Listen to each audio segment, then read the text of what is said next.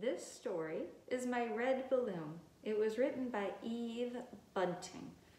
It says so on the front, it says so on the spine. Because it's a library book, I see the letter that starts bunting at the bottom. What letter do you see at the bottom for bunting? I see a B. On the back, it talks about the publisher. It's got that little code that allows the librarian to scan it for me, or if I were to go to the store. I'm at school, so I don't take my mask off at school to read you stories, but stories online. I'm going to say a little bit louder so you can hear, and you can see my lips as I read. Our title page um, has a red balloon, and the red balloon says, welcome home. So I wonder who this character is welcoming home. Do you have an idea? The dedication says, for my daddy who came home from a different war, Eve Bunting, and dedicated to the men and women who serve and the families who wait, special thanks to Sammy and VJ Kamani and family, Luana and family, and the Virginian pilot news photographer, Martin Smith-Rodden. And that's from um, Kay Life. She's the illustrator. So that tells us a little bit more about that welcome home balloon that we see here again. The first thing I see when mom wakes me is the red balloon that's shaped like a heart. On it is printed, welcome home. It's waiting. Mom and I have been waiting too, but today is the day. I jump out of bed and I dress.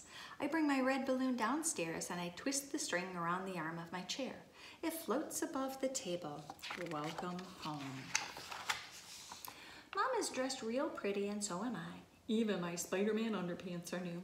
Mom pours cereal, but we don't eat much. Will Daddy be happy to come home, I ask? Very happy, but he had a job to do, I say.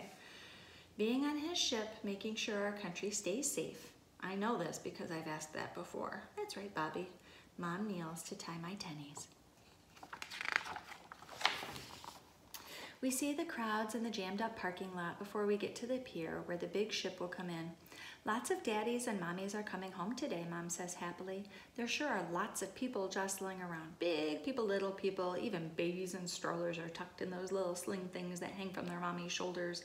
The band's playing real loud. You can tell by this picture that this wasn't taken today. Um, Eve and her friend wrote this story a little while ago. Can you see it yet? Someone asks a tall, tall man. Not yet, he says. Your son's coming home? Someone asks. My daughter. The man smiles a huge smile that flashes from underneath his mustache. My daddy's coming, I tell him, and I look up at my red balloon and I jerk it so it bows. It's high above everyone, even the tall, tall man. After we meet him, my daddy always puts me up on his shoulders, and if I were on his shoulders now, my red balloon would touch the clouds. The girl next to me tries to hold my balloon string too, but I say, don't touch, this is for my daddy. She's bigger than I am. I moved to my mom's other side just in case. My red balloon is very important. Mom wrote to daddy and told him I'd be carrying a red balloon today and I move it fast so it jumps and it bounces.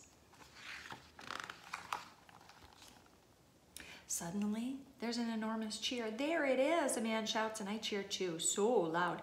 It feels like my ears are going to burst and a big gray ship with the flat deck where airplanes can land and take off is coming. I can see the sharp-nosed planes and the tiny figures of the sailors lined up along the railing. The band's playing extra loud now, and I know the song. It's one of Daddy's Anchors Aweigh, which is okay, even though the song's about a ship going out, not coming in. And we're all singing and clapping in time, and a woman who looks like my grandma is giving out flowers from a humongous bunch she carries she's too far away from us, so I guess we won't get one. There are banners everywhere. One says, we're glad you're back. Another says, we missed you. I see other balloons, and none of them look like mine. I tug at mom's arm. Are you sure you told daddy that my balloon is red and it's shaped like a heart? She smiles down at me. I did. She ties the string tighter around my wrist.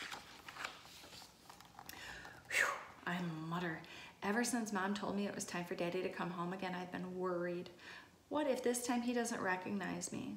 I think I'm a lot bigger, but now I have my red balloon shaped like a heart and it'll be real easy to find. The ship is gliding to a stop at the pier. Its deck is so far above us that it's looking like a tall building. I can't tell which sailor is my daddy. From here, they're all looking the same. All around me, people are jumping around, kissing and hugging. I hope no one hugs me except my mom. She's tied the string too tight and it's hurting my wrist. So I poke my finger under the loop to make it bigger and it comes all the way loose. It's slipping out of my hand and before I know what ha what's happening, it floats away. I watch it go up and up and I try to shout, but it doesn't come out right. Mom, help, I weigh wail my balloon. My heart's punching inside of me. Mom looks up. Oh no, she says. She jumps to try to catch the string, but it's already too high, and the tall, tall man sees it, and he jumps too. He jumps another time, and then he says sadly, I'm sorry, kiddo, I'm afraid it's gone. We stand there, shading our eyes from the sun, watching my balloon that's shaped like a heart dancing happily against the sky. Its long, skinny string swaying beneath it. My eyes are stinging.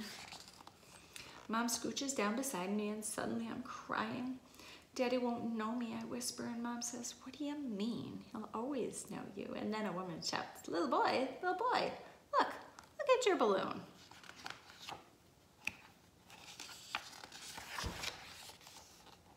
I lift my head. My red balloon that's shaped like a heart has sailed across the ship and it's floating just to where the sailors are standing. See, Mom says. I stop sniffling. And then I see my daddy He's four from the end. Daddy, Daddy, I yell. And now all the men and women are rushing down from the ship, cramming, crunching into the crowd, and my daddy is beside us, kissing mom, lifting me, holding me tight, and he's tall, taller than anyone. Did you see my red balloon that's shaped like a heart, I ask? Yes, he says. I knew it was yours. And then I looked down here and I saw you. You did? He's given me the best daddy squeeze. I put my mouth close to his ear. Welcome home, Daddy. Welcome home. And that's the story of my red balloon.